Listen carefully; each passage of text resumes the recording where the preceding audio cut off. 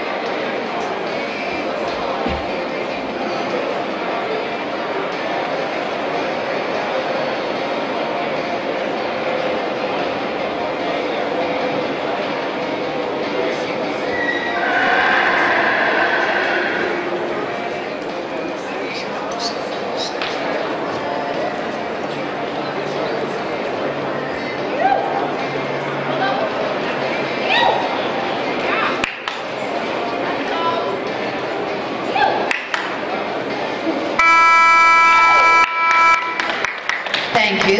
CD Cat Cut, owned by Jim and Katie Garfinkel, shot by Tom Long.